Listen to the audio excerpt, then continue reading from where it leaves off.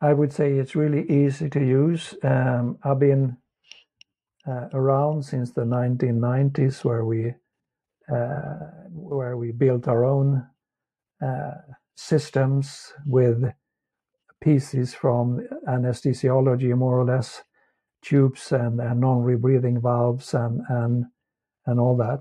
Uh, so there's been a, a, tremendous development, and and uh, uh, Niox Vero with the built-in flow regulator and the uh, very neat visual feedback and the, and the comfortable handle uh, makes uh, makes the instrument very easy to use for the patient. And we have seen that when, at least when reducing the exhalation time, which is possible in small children, quite small children are able to perform a measurement. I think uh, that's good proof of uh, the instrument being being very user friendly.